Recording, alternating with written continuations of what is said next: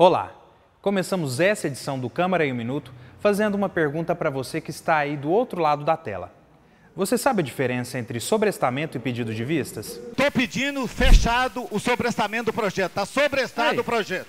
Eu quero, nesse momento, fazer o pedido de vista desse projeto.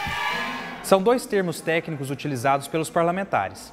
O sobrestamento é quando o autor do projeto, por algum motivo, não quer que, naquele momento, a matéria seja votada ou ele é solicitado caso sejam necessárias correções. Neste caso, o autor da proposição é o único que pode pedir o sobrestamento, ou seja, a suspensão da votação do projeto na Câmara.